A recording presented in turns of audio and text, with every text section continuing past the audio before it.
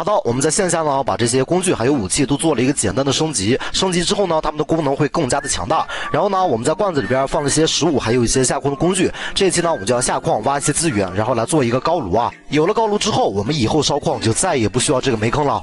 下矿之前呢，我要把这个渔网带上，把我们家里边的捕鱼陷阱给它更换一下。虽然说我们现在不知道暴风雪什么时候会来，但是家里边的食物储备多一点总归是好的。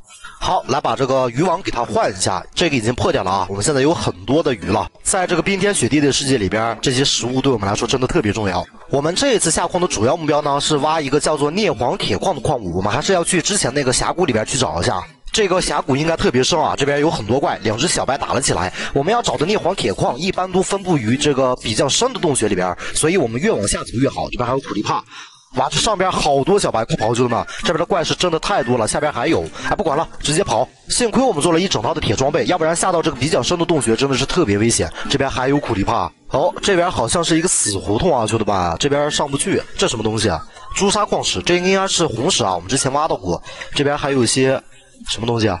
黄铁矿矿石这个东西我们家里边有啊，就不挖了吧啊，这边还可以走啊。我们现在要找的是叫做镍黄铁矿石的一种东西啊，先把这边的僵尸解决一下。这边还有些矿物啊，但是我不确定是不是。这边是银矿石，这边是黄铁矿石，但并不是镍黄铁矿石。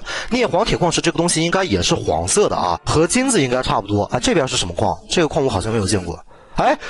这是镍黄铁矿石，兄弟们，那为什么这个东西是白色的呀？不应该是黄色的吗？还有黄金啊！哇，那这个东西我们必须要挖啊，因为它是做耐火砖的必备材料，而耐火砖呢，又是我们搭建高炉的材料。OK，这边的镍黄铁矿石已经全部挖完了啊，一共得到了两组零八个，收获还是特别不错的。然后这边还有一些金矿啊，这个金矿我们家里边没有，也带一些吧。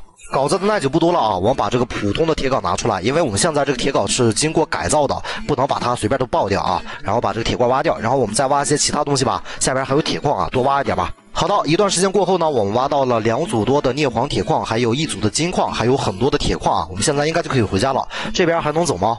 这边是一个死胡同。啊啊啊！啊，对不起，兄弟们。哇，这苦力怕真吓我一跳，我不应该喊啊，不应该喊。这苦力怕是真狗呀，兄弟们，吓死我了！我们现在背包里边东西都没有了，我们还要找一下出去。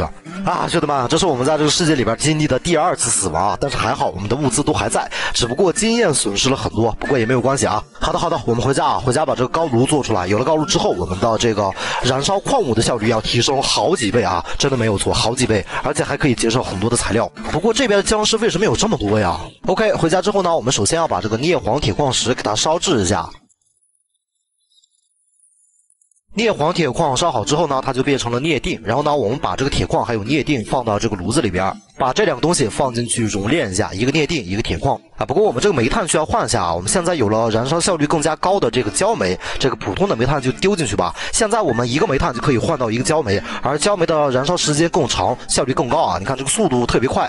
这两个东西结合在一起之后呢，就会变成这个阴钢锭。这个东西我们先留着备用。然后呢，我们现在需要研究一下这个传统机械。研究好之后呢，咱们就可以来制作这些东西了，青铜齿轮什么的。这些东西的制作方法还是特别简单的，需要用到最普通的青铜锭，还有铁锭。好的，我们在这个坑的最下方放一个青铜盆，上方再来一个动力搅拌器，最后我们在上方放一个手摇曲柄。这样的话，我们最基本的一个搅拌器就做好了。然后呢，我把之前挖到的这个铝土矿放在这个树桩上边，给它敲打一番，然后呢，它就会变成氧化铝。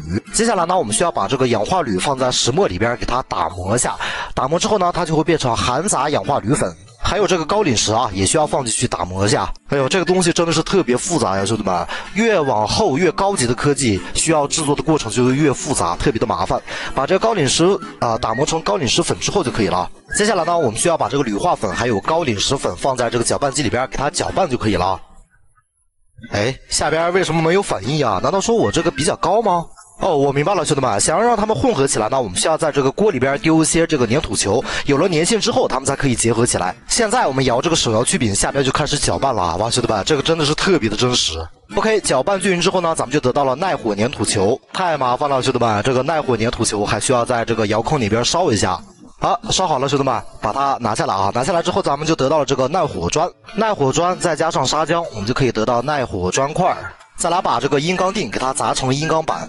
硬钢板加砂浆，再加上耐火砖，就可以合成我们最终的物品，叫做啊高炉砖啊。我们一共需要二十七个。我们接下来还要继续制作啊，兄弟们，这个整合包真的是太复杂了。好的，二十八个耐火砖终于做好了，我们现在就可以把它摆在这边啊，摆一个三乘三的盒子。哎，外边有声音，哦。暴风雪又来了，兄弟们！哇，这一次天晴的时间比较长啊，这应该是第四波的暴风雪了。可以啊，兄弟们，我们家里边的食物储备够，而且还有小麦，还有各种水源。我们接下来生存的问题就不需要担心了。把这个耐火砖摆好之后呢，咱们再来用这个工程师锤给它锤打一下。这样的话，我们就完成了目标。真正的热门话题，现在我们烧矿物就特别简单了，只需要把这个煤炭加进去，然后再加一些普通的矿物，就可以烧炼一些矿物了。现在我们要烧铜，直接把这个孔雀石放进去，再也不需要做这个粘土罐，然后需要消耗大量的干草还有木头来制作了。虽然说我们制作这个高炉的过程特别复杂，但真的是一劳永逸啊，兄弟们！做好这个东西之后，我们之后玩这个游戏的效率也会加快很多啊。这样的话，我们就得到了铜锭。下边呢还会有一些这个矿物残渣。外边啊，这暴风雪就停了吗？暴风雪停的话，我们下期还是探索一下吧。我们还有很多东西没有探索啊。